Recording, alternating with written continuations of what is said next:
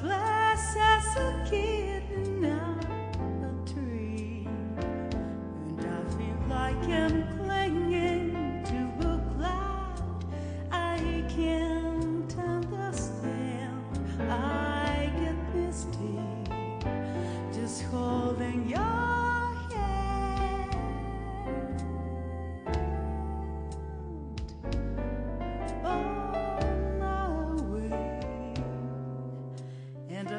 thousand violins begin to play, or it might be the same.